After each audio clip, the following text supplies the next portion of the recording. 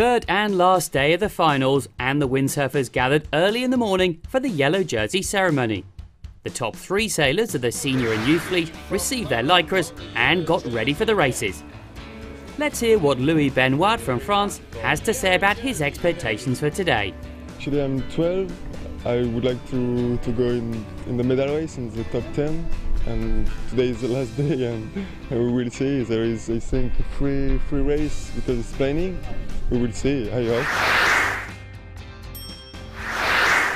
In the first race of the day, the girls were spread all over the starting line, with the ones in the middle not realising that they are a few metres inside.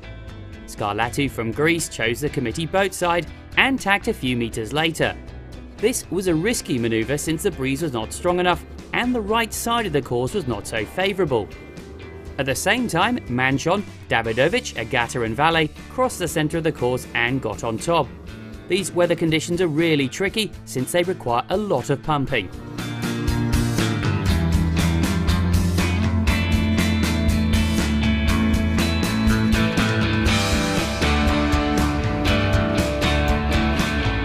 At the first mark, Davidovich was first, with Agata a few metres behind her.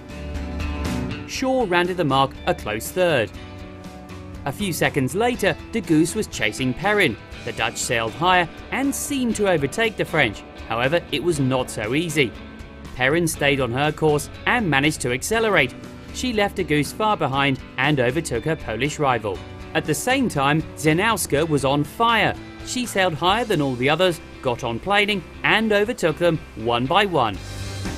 At the third mark, not a lot of things changed, with Agata having reduced the distance from the first. Perrin did a great job, while Klepacka was far off her best performance.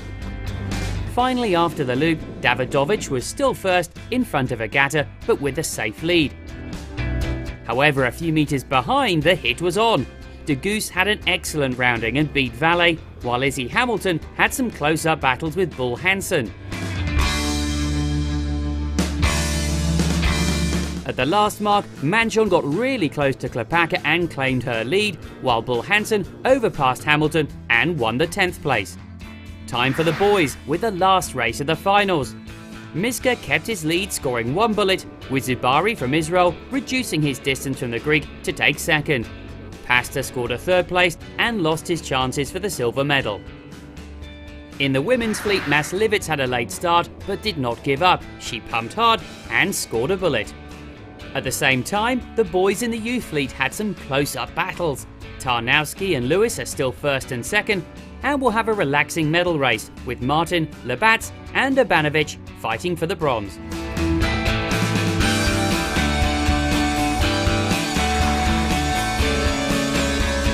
Let's have a look at the results.